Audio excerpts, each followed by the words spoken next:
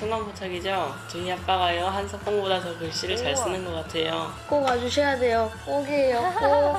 네, 귀여워요. 한석봉을 능가하는 명필이 있다? 네, 안녕하세요. 순간포장에서 나왔는데요. 네. 혹시 여기 명필이 있다고 해서 제보를 받았거든요. 아, 면필요? 네. 아, 네. 어, 제가 면필인 면필입니다. 서예를 네, 여기 하시나요? 그런 거 있는데 보여드리겠습니다. 스스로를 명필이라 칭하는 이 남자 대체 얼마나 글씨인데요? 잘 쓰길래 아, 그런가 어 근데 좀 어? 에? 이게 뭐람? 아이고 아버님. 네. 아버님. 주석. 명필은 어디 가고 악필 겨우 면한 글씨 대보할 만큼은 이 아닌 것 같아요. 것 같은데 그러니까요. 어, 제가 쓰는 방식대로 어, 한번 써 보시겠습니까? 어떻게 쓰시는데요? 아, 이 글씨는 굴착기로 쓴 글씨입니다. 네? 굴착기요? 네. 어떡해요? 아, 굴착기로 어떻게 글씨 굴착기라고라? 아. 땅을 파거나 깎을 때 사용하는 요 거대한 건설 장비로 글씨를 썼다는 말씀?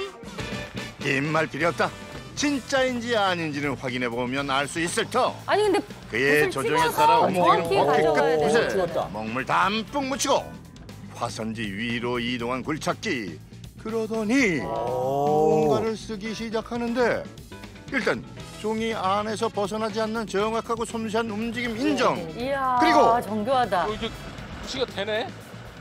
엄마야 정말 글씨를 안 쓴다 보이잖아요. 보고도. 믿기지 않는 굴착기 서예쇼 환영합니다. 세상에 이런 일이. 오! 세상에나 명필 맞다 맞아 어떻게 이렇게 맞춰서 처음? 보거든요. 되게 신기하다. 어, 이 정도야 뭐 시작이 불가하죠. 이게 손이라고 생각하시면 됩니다. 굴착기로 땅만 판다는 편견을 깨라 오늘의 주인공을 소개합니다 세상에서 가장 크고 무거운 손을 가진 사나이 이진호 씨 말씀이시네요. 멀리서 오셨는데 제가 시원한 음료수 한 잔 드리겠습니다.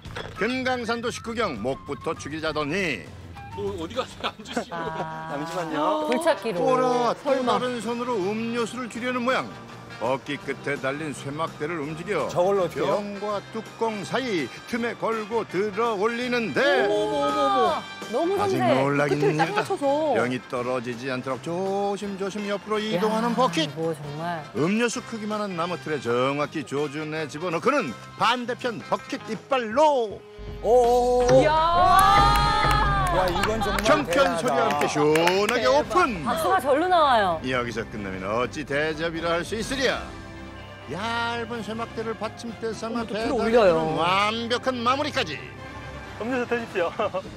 별 희한한 방식으로 다 마신다 이가 되게 미세한 조정을 하는 기계는 아니잖아요. 그렇죠. 대부분 그 힘이 힘이 중요하죠. 네. 뭐 무거운 걸 들, 들거나 아니면은 뭐 땅을 파거나 뭐 그런 일이 보통인데 이런 동작은 거의 사용한 사용하진 않,